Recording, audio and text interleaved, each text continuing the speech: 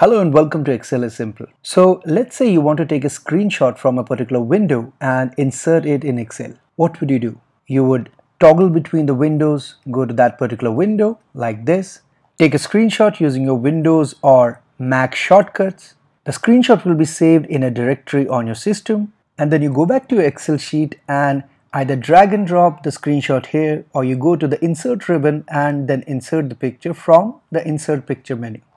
Well, you can see that this involves five to six different steps. And what if there was a shorter way to do it? Yes, there is one way. You can take a screenshot directly in your Excel sheet. Go to the insert menu and here you can see take a screenshot button. Just click over here and all your active windows will pop up. Now you can see all of those different windows here. You have your different spreadsheets.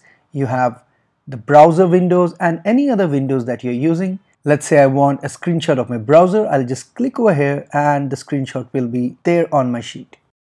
Then I can just adjust it and use in my sheet. Simple, isn't it? Make sure to press the subscribe button if you are not already a subscriber.